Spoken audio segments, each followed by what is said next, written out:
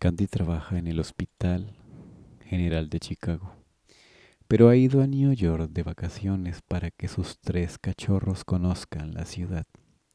Entra a una tienda a hacer unas compras, cuando una distinguida dama se acerca y dice, Disculpa, ¿esos pequeños son tuyos? Candy de inmediato siente el olor. Esa mujer es una Lican. Sí, señora, son mis hijos. Pues son muy hermosos. Dos eran rubios y uno de cabello castaño. Los tres eran varones. ¿Y cómo se llaman? Él se llama William. Así se llamaba mi padre. Él se llama Anthony. Así se llamaba mi esposo. Y él es el pequeño Terrence. Fue el último en nacer. Yo también tengo un hijo que se llama así. Mira qué casualidad. Las dos mujeres sonríen. ¿Sabes, niña? Es una suerte que Dios te haya bendecido con tres varones. Son tan escasos y los pocos que hay se pelean a muerte las hembras. Mi pobre hijo amaba mucho a su mujer. Otra apareció de la nada, la atacó y pues ya te imaginarás el resto. Sí, lo imagino, respondió Candy.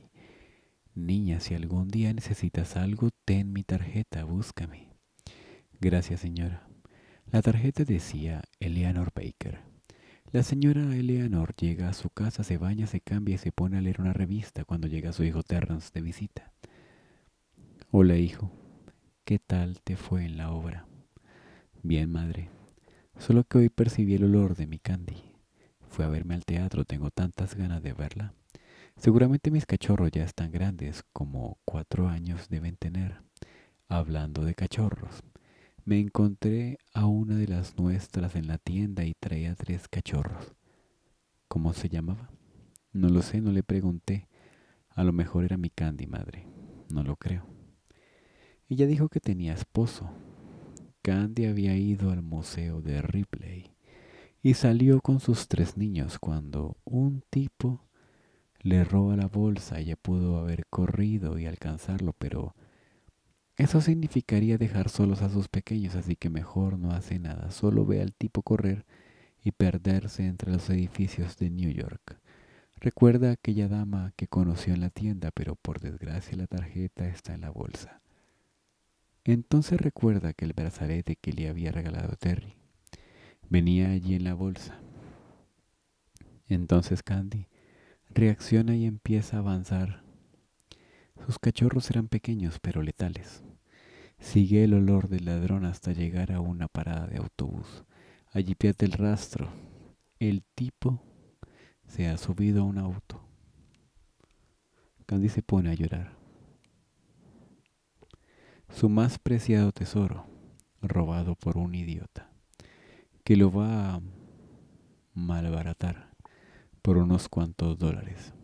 Sus niños al ver la tristeza a su madre dicen, no estés triste, mami. Cuando seamos grandes te compraremos muchos brazaletes. El ladrón se va a tomar una a una cantinucha de mala muerte.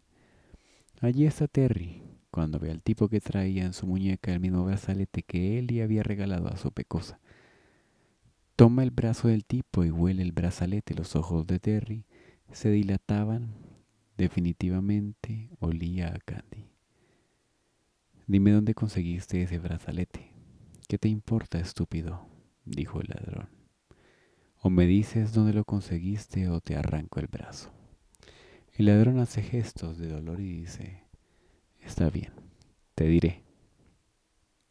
Pero suéltame, por favor. Terry lo suelta. En la tarde le robé el bolso a una mujer y dentro de la bolsa venía el brazalete. ¿Dónde está el bolso? Lo tiré. ¿En dónde? No lo recuerdo, solo lo arrojé a un contenedor de basura. Vamos, llévame a ese lugar, dijo el actor. El, el ladrón lo lleva al contenedor allí, seguía la bolsa. Terry toma la bolsa y la abre y de inmediato le da el olor a su pecosa.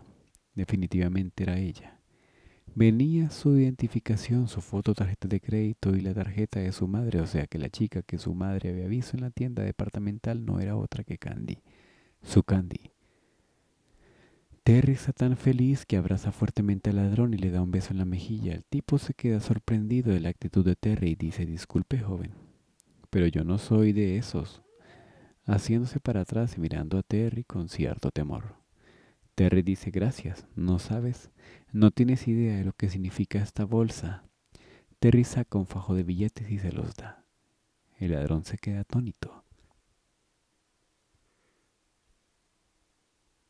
No sabe qué rayos pasa, pero se va feliz. En la bolsa venía claramente la dirección de Candy, en Chicago, su identificación de enfermera en el Hospital Santa Juana y la foto de Candy con los tres pequeños. Esta foto hace que Terry se ponga muy contento, pero muy contento también. Veo unos recibos del Hotel Plaza que está frente a Central Park. Decide ir a buscarla inmediatamente. Candy, por su parte, acostada en su habitación del hotel, está viendo la foto de Terry en la revista. Recuerda las veces que le hacía el amor. Se imaginaba el cuerpo desnudo de Terry sobre ella. El solo hecho de pensar en él hacía que Candy mojara su ropa interior. Sentía unos deseos inmensos de sentir ese hermoso hombre. Ella misma empieza a tocar su intimidad. Saca un vibrador de su maleta y empieza a masturbarse tenía que sacar ese fuego que la quemaba por dentro. Siente la inmensa necesidad de transformarse en Lican. Así que nuevamente contrata el servicio de niñera y sale del hotel. Empieza a caminar entre la gente, le hace la parada a un taxi, al mismo tiempo que un hombre. Ella dice, lo lamento, pero yo le hice la parada primero. Y le dice al taxista, a Green Lake, por favor. El tipo dice, no es algo tarde para que una hermosa chica vaya sola a lo profundo del bosque. El poderoso olfato de Candy se da cuenta que él es un lican igual que ella. Candy no dice nada, solo se sube al auto y piensa, en tan solo tres días ya me encontré con dos personas iguales a mí. Quizás es porque New York es un puerto y aquí llega toda clase de personas. Nadie va al puerto destruido de agua en puerto, el man puerto.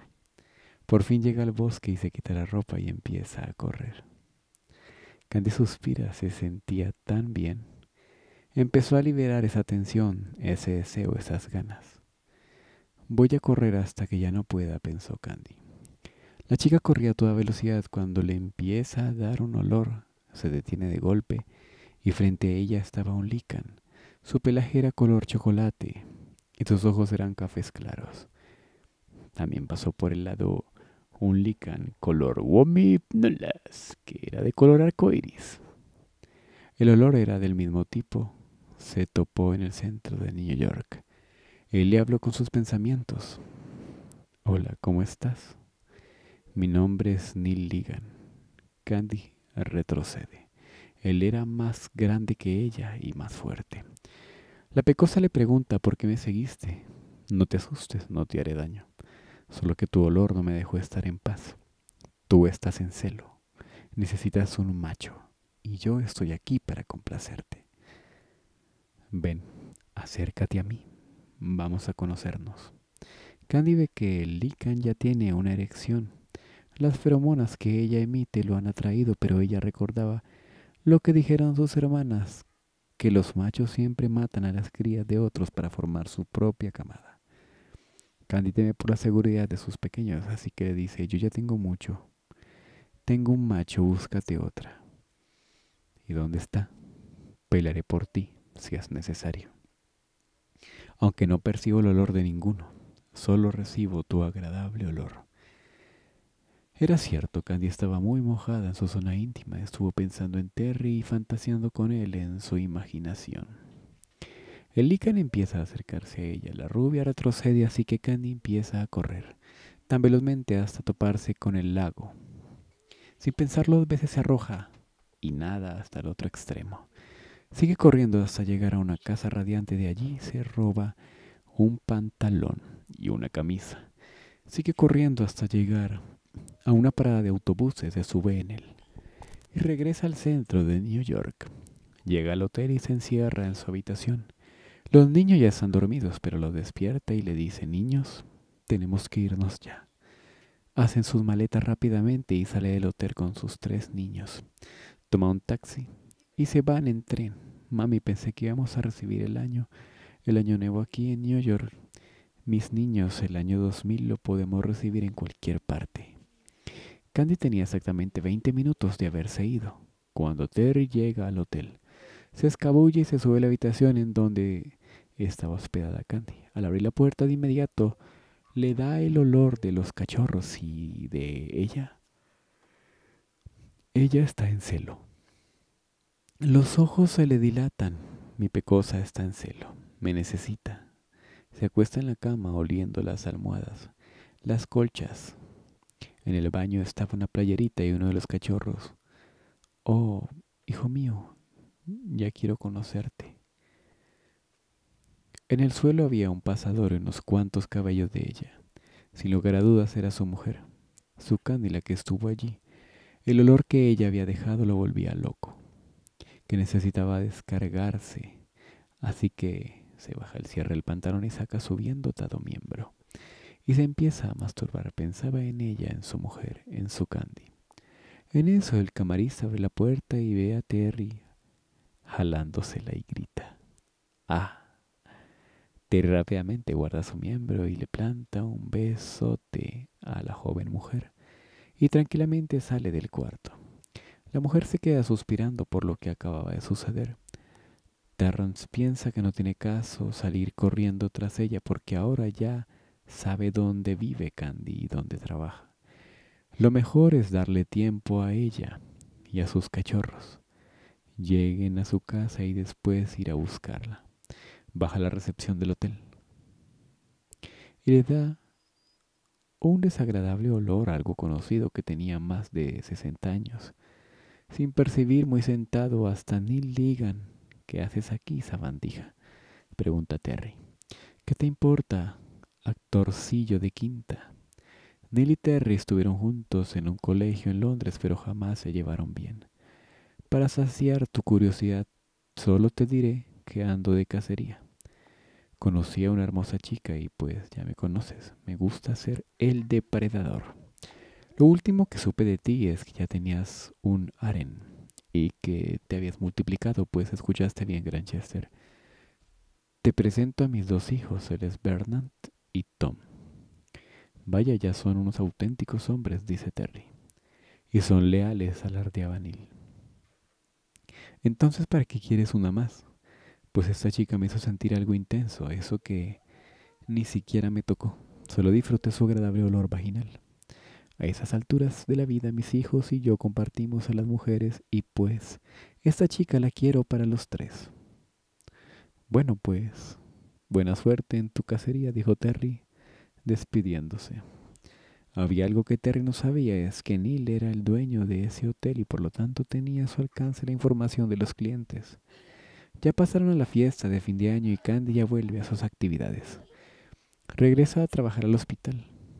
Al salir allí, parado con un hermoso regalo, con un hermoso arreglo floral, está Neil. Hola, señorita Candy.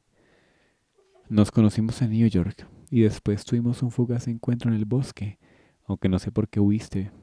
Quiero presentarte mil mis disculpas no fue mi intención asustarte. ¿Cómo supo dónde encontrarme? Es que yo soy el dueño del hotel donde te hospedaste tú y tus tres cachorros. A eso se le llama acoso, señor Neil. Por si no se ha dado cuenta, ya estamos en el año 2000. Yo puedo llamar a la policía y acusarlo de estar acosándome, así que por favor aléjese de mí. Candy sumamente molesta se va. Quería ir a otra parte, para despistar a ese sujeto, pero pensó que si el tipo ya sabía dónde trabajaba, entonces seguramente ya sabía dónde vivía. Rápidamente se apresuraba a llegar a su casa, y allí muy sentado estaba el hombre de su vida, su macho, Terrence Granchester.